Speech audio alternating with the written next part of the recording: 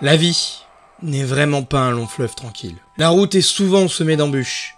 Il arrive parfois de baisser les bras devant la difficulté. Et on se laisse vivre, on se laisse mourir, dans la souffrance et l'indifférence totale. Harcèlement, violence, surpoids, échec à répétition, manque de confiance. À quoi bon? Que puis-je faire? J'arrive à rien, je sers à rien, j'ai envie de rien. Finalement, ai-je droit au bonheur? Tu veux que je te dise? Tout le monde n'a pas un parcours facile dans la vie. Et ça même dès le commencement. Alors chacun se met en quête de son propre bonheur. Mais le bonheur, c'est quoi? Ça veut dire quoi? Hélas, aujourd'hui, c'est devenu une quête sociétale. On le voit partout sur les réseaux sociaux. Il est montré de manière stéréotypale, mais en vrai, toi, qu'est-ce que tu veux? Qu'est-ce qui te rendrait heureux? C'est quoi la suite? T'entends ça? C'est le temps qui tourne. Chaque minute perdue est une minute irrécupérable. Alors, pose-toi bien cette question. Quand tu seras mort, tu laisseras quoi? Le regret? Je vais te dire un truc. Ce qui est affolant, quand on discute avec les anciens, c'est l'expression de leur regret. Non pas pour les choses qu'ils ont faites, mais pour celles qu'ils n'ont jamais faites.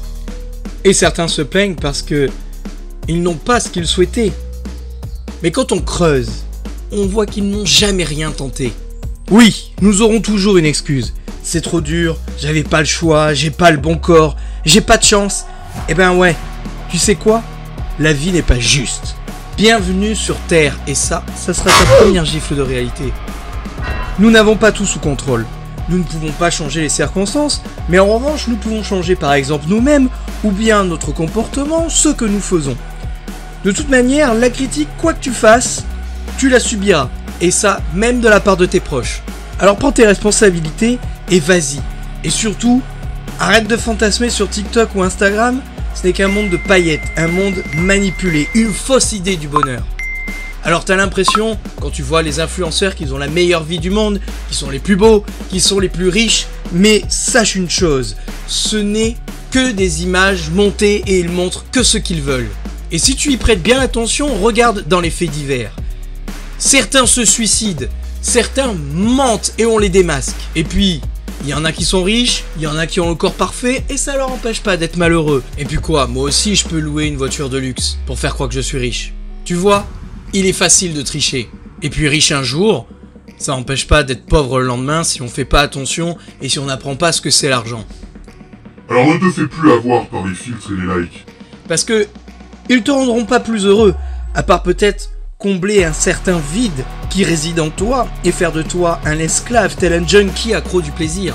Et toi, t'as envie d'être libre, t'as envie d'être heureux avec ce que tu fais. Alors vas-y, et sache une chose, personne s'est fait en un jour. Alors quelques-uns me diront qu'ils n'ont pas de but, mais je suis convaincu qu'au fond, tout le monde a un rêve. D'autres me diront qu'ils ont tout essayé, mais n'y sont pas arrivés.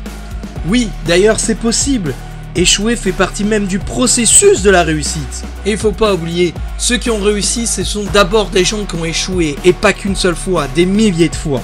Même si je te l'accorde. Parfois, même avec toute la volonté du monde, on peut échouer et ne pas y arriver. Mais ça fait pas de toi un vaurien. Tu peux même apprendre de cela. Plein de paramètres peuvent aussi l'expliquer. Une occasion non saisie, un environnement pas favorable, peut-être une méthode de travail pas adaptée, pas la connaissance du sujet. Les causes sont multiples. Je dirais à peu près 90% de la réussite résulte sur le comment on réagit à ce qui nous arrive. En gros, l'adaptation. Et 10% seulement sur ce que l'on vit. Ça veut dire que tu dois prendre les choses comme elles viennent et que tu dois essayer de t'adapter. Et d'ailleurs, échouer, c'est aussi le risque de réussir. Alors si on ne fait rien, il ne se passera rien. Et si je peux te rassurer, personne n'a envie de refouler le terrain après une défaite. Personne n'a envie de refouler le ring après avoir pris un méchant chaos.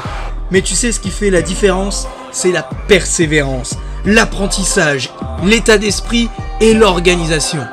Alors juste, commence avec des objectifs simples. Tu veux perdre 15 kilos? Eh ben, Qui t'empêche d'en perdre déjà 5 et d'être fier de toi? Tu veux être multimillionnaire? Mais commence par gagner tes premiers milliers d'euros et tu en seras fier. Alors on te demande pas la lune, on te demande juste d'essayer. Et si tu veux savoir une chose, c'est que dans ce long processus, tu n'es jamais seul.